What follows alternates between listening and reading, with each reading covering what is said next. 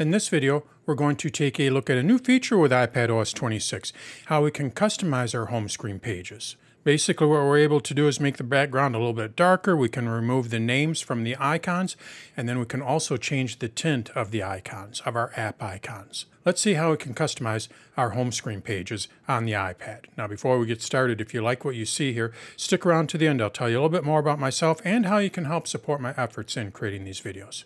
All right, let's take a look at how we can customize our home screen pages on the iPad with iOS 26. Let's go over to my iPad. Now, in order to customize our home screen pages, including making our background a little bit darker, we can remove the names from the bottom of the app icons.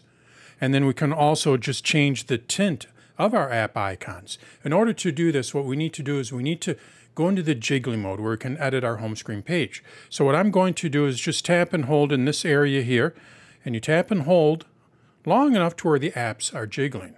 And then what we do is we go up to Edit in the upper left-hand corner. Under Edit, you're going to see a new option with iPadOS 26, Customize. This is where we want to go. So now I tap on it, and down at the bottom here, we have our customization options. So basically we have three different options here. If we wanted to make the background darker, what we do is we tap on this little icon here, and when we do, take a look at my background, you're going to see that it's going to get darker. You can see it's just slightly darker. Tap on it again to make it a little bit brighter. So if you want a little bit more contrast, things a little darker, just tap on that and it'll make it a little darker.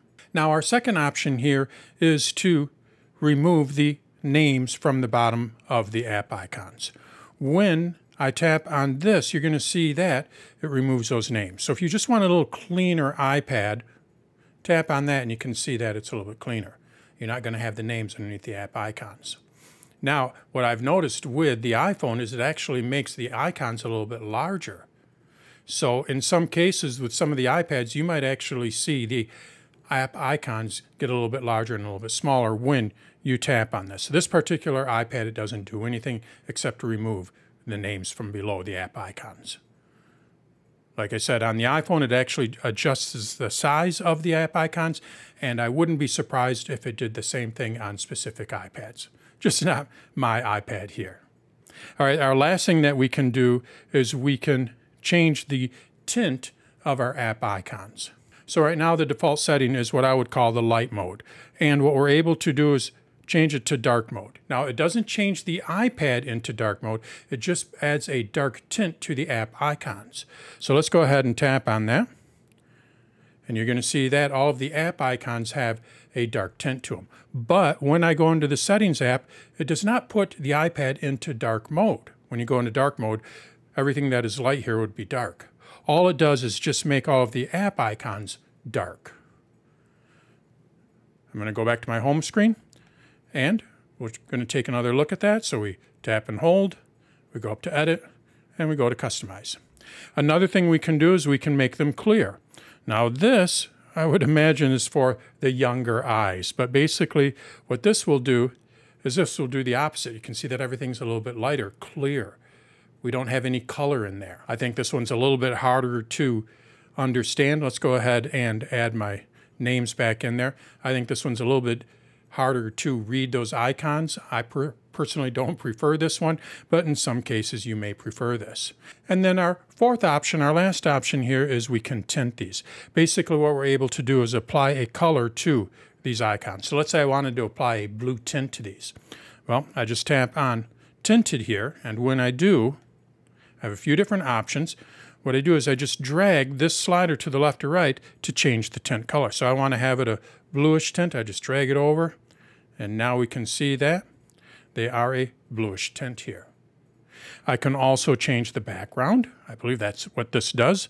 You're going to see that the background kind of changes there when I slide it to the left or right. And then if I wanted to put it back to default, I tap on this and it'll bring it back to default. If I want to choose a color, I can do that as well. When you tap on this, what it'll do is it'll allow you to change or choose a color from my background. So I can choose a little bit lighter orange there. So then it matches my background. And then down at the very bottom, we can set it for light, dark, and auto. So here's what it's going to look like for light. here's what it's going to look for dark, and then I can set it for auto, and it'll automatically change. So that's how we can change the tint. I'm going to go back to default. I'm still old school, and I like the default look for that. But I do like to have a little bit darker contrast or background, so I tap on that to make it a little bit darker. And I like to make sure that my names are showing. So I'll make sure that when I tap on that, it shows the names. So that's how we can customize our icons, our home screen pages on the iPad. This was introduced with iPad OS 26. Just long press on any area where there's not an app icon, or you could do it on an app icon, I guess, but basically just long press until it gets into the jiggly mode. And then you're going to see edit in the upper left-hand corner, tap on customize, and then from there you're going to be able to customize it. You can make the background a little bit darker. You can remove the names from below the app icons. And if you do this on the iPhone, it actually makes the icons a little bit larger. And you can also change the tint of your app icons. So that's how we can customize our home screen pages on the iPad. Now, if you found this video helpful, what you may want to do is like the video. You can subscribe to my channel. You can share it with your friends and family. I also have a couple of other options if you'd like to help support my efforts in creating these videos. I have danstutorials.com. This is a membership based site where not only do I have more videos there, but I also have an AI assistant modeled after an Apple Genius, and I host classes and webinars on a regular basis. This is a membership based website, so what I'll do for you when you become a member is I'll take out all of the ads from the videos.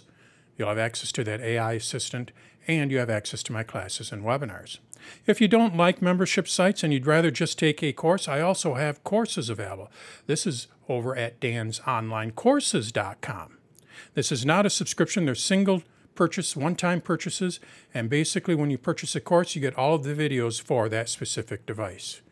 As of this recording, I just have one course on there, one for the iPhone, but I plan on introducing one for the iPad, which includes this video and many more, as well as one for the Mac at a later date. With either one of these, just know that you're helping support a small business. It is just me in a corner office of my house. I'm not part of some large organization. If you'd like to find out more information, check out danstutorials.com as well as dansonlinecourses.com. And thanks for watching.